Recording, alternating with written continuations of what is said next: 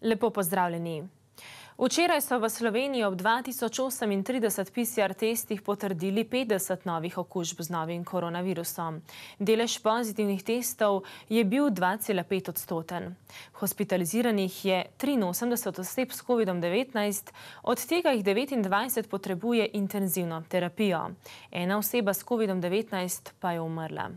Danes so po Sloveniji sicer zaživele prve mobilne enote za cepljenje in sicer dve v Ljubljani ter v Mariboru in na Ptuju. Kot je včeraj povdaril minister za zdravje Janez Poklukar, je cepljenje privilegij. Zato je ljudi pozval, naj ga v čim večji meri izkoristijo. Poklukar je še povedal, da se z vsemi zdravstvenimi domovi v Sloveniji pogovarjajo o oblikovanju mobilnih cepilnih enot, v kar bodo vključili tudi koncesionarje. Zdaj pa na tuje. Portugalska se boji izbruha četrtega vala epidemije COVID-19, saj se v državi pospešeno širi različica novega koronavirusa Delta, ki predstavlja več kot 60 odstotkov novih primerov v Lizboni. Ker želijo preprečiti nadaljno širjenje virusa, so prejšnji konec tedna omejili potovanja med prestolnico in ostalim delom Portugalske. Različica Delta je postala v zadnjem obdobju prevladojoča različica na širšem območju Lizbone. Novi koronavirus pa se širi zelo hitro. Pred šestimi tedni so imeli v povprečju po 300 okužb dnevno, sedaj jih je po več kot 1100. Strokovnjaki svarijo pred eksponentno rastjo, saj da sprva številke rastejo postopoma, na to pa eksplodirajo. Omejitvene ukrepe so zaostrili tudi v avstralskem Sidniju.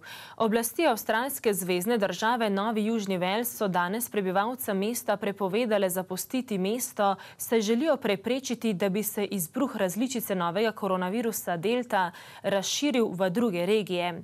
Prebivalci najmanj en teden ne bodo smeli zapustiti mesta iz nenujnih razlogov.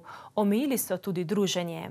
Omejitev potovanj velja za sedem lokalnih okrajev, kjer so zaznali novi koronavirus. Restauracije in bari lahko še naprej obratujejo, prepovedali pa so petje in plesanje. Dovoljeni ostajajo tudi večji dogodki, na 50 odstotkov pa so zmanjšali kapacitete na stadionih. Doslej so potrdili več kot 30 okužb.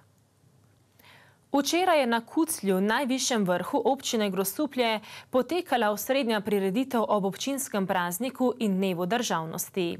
Zbrane na slovesnosti je pozdravil župan Peter Verlič in dejal, da je ponosen na svojo domovino ter da je srečen, da živi na prelepem koščku sveta v državi Sloveniji. Slavnostni govornik pa je bil predsednik vlade Janez Janša. Bližamo se 30-letnici slovenske samostojnosti. 25. juni pa je v občini Grosuplje tudi občinski praznik in kot je povedal župan Verlič, po vsej občini zato ponosno vihrajo slovenske zastave, ki so vidne že oddaleč. V čast in spomin 30. obletnice naše države bo ponosno zavihrala tudi na najvišjem vrhu naše občine Kuclju. Pred 30 leti je slovenska zastava prvič zaplapolala pred državnim zborom v Ljubljani, a že naslednje jutro jo je bilo potrebno braniti pred agresori. Prva demokratično izvoljena Demosova vlada je mlado državo uspela rešiti. Slovenski narod pa jo je v vojni za Slovenijo zaščitil, žal tudi življenje svojih lastnih sinov. V slovenski zgodovini je veliko sijajnih dogodkov, žal pa tudi mnogo tragičnih obdobij. Pred 30 leti smo razglasili samostojno državo, vendar nas razen Hrvaške, kasneje nekaj baljskih držav in Islandije, takrat nihče ni priznal, v zraku pa je bila vojna. Danes je Slovenija obdana z štirimi sosedi, ki so vse v Evropski uniji, tudi vse v zvezi NATO. Naša varnost je neprimerljivo večja, kot je bila pred 30 leti, naše možnosti za razvoj so neprimerno večje. Ko se je Slovenija osamosvojila, smo bili nekje na 27 odstotkih standarda Avstrije, že leta 2008 pa smo prišli na 91 odstotkov evropskega povprečja. Sledila je kriza in dolga recesija, vendar se zdaj po besedah Janše spet pobiramo. Slovenija ima eno najvišjih gospodarskih rasti trenutno, kljub epidemiji imamo število brezposelnih, ki je nižje kot dve leti nazaj, se pravi v času konjunkture in pred krizo. Sedanja vlada ima dobre načrte za prihodnost, tako da lahko državljani samozavestno gledamo naprej. Janša je občini Grosuplje zaželel, da bo njihov razvoj enako hiter, kot je bil v zadnjem desetletju, saj se bodo s tem tempom prebili v sam vrh slovenskih občin po kvaliteti življenja. Ljubljanski načkov Stanislav Zore v včerajšnji pridigi pri Maši za domovino dejal, da bomo morali kot odgovorni državljani vsi v naše skupno iskanje boljših razmer, večje blaginje in spoštljivega razumevanja prispevati svoje predloge, ki bodo naravnani na ustvarjanje in varovanje skupnega dobrega. Zgolj nasprotovanje vsemu in vsakemu ne gradi ne družbe in ne države, pač pa juruši. Zore je namreč spomnil, da je bila v času nekdanjega sistema ogrožena naša materinščina, da so bila nakupovalna središča slovencev v Trstu ali v Celovcu in da so naprimer poznejšega načkofa Franca Perka zaprli za tri leta zgolj zaradi šale. Kljub pozitivni oceni doseženega, pa po Zoretovem mnenju še nismo dosegli prav vsega, kar smo želeli.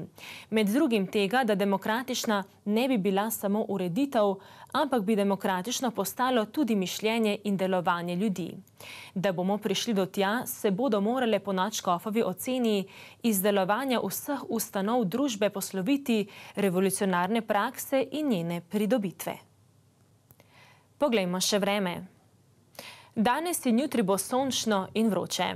Danes večer bodo predvsem na zahodu in severu krajevne nevihte. Več pa v vremenski napovedi.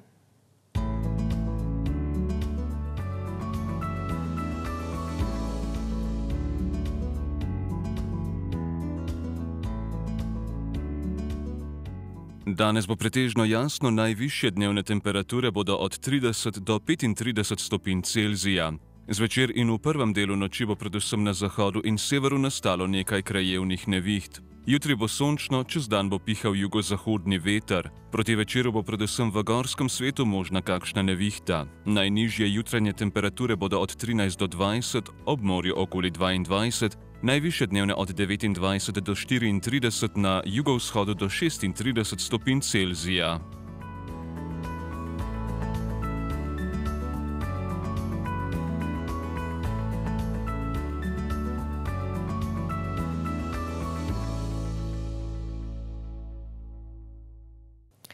Dragi gledalke, dragi gledalci, hvala za vašo pozornost. Toliko za enkrat, z vami bomo zopet o 15. uri.